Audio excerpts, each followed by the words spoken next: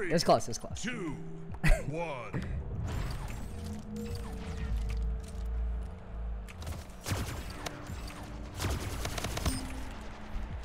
I'm a fiend. I'm a fiend, bro.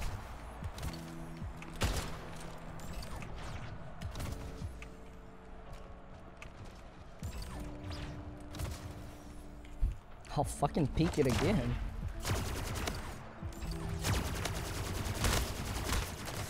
I, uh, I'm embarrassed. Thank you, thank you, teammate. Thank you.